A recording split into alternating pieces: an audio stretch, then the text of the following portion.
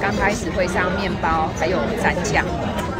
我们来看一下，呃，面包、汤类，还有蘸酱。这有各式各样的蘸酱哎，呃，水果的，然后 tomato 的，然后蒜头的，然后 barbecue 的，然后哎薄荷的，哎这好。所以这么多蘸酱可以用，啊，下面还有一些配菜可以用。然后接下来是羊肉。妹妹妹。Yeah. What kind of sauce? Mint. Mint. Mint is here? Yeah, I know. 然后这个是 crocodile. Yeah. Yeah. 这是。然后啊，鸵鸟肉哈。鸵鸟肉吃起来像鸡肉，啊，至于 crocodile，嗯，很结实，可能我心里乱想，不大敢吃。哇，这是火鸡肉。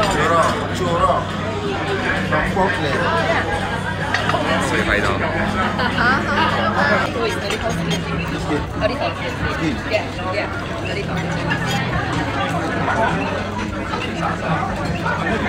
这是猪脚。啊。Thank you。猪脚还可以选部位，但是让我最惊讶的是有牛蛋，听说吃起来像蛋黄，但是我不敢吃。来收拾的来，Yeah here。哎，这个是东西，下去，特别棒。OK。好了，现在来公布第一好吃的德国猪脚。嗯。它的皮真的很好吃，比去德国吃还好吃。德国的胖妈妈还好吃，对，真的，这是我们的领队。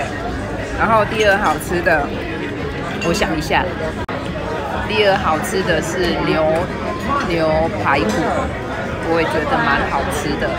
然后再来是猪排，鸡肉普普通通，鸵鸟也普普通通，鳄鱼不敢，牛蛋不敢，羊肉有腥味，好。这是我的结论，真的要来尝试看看。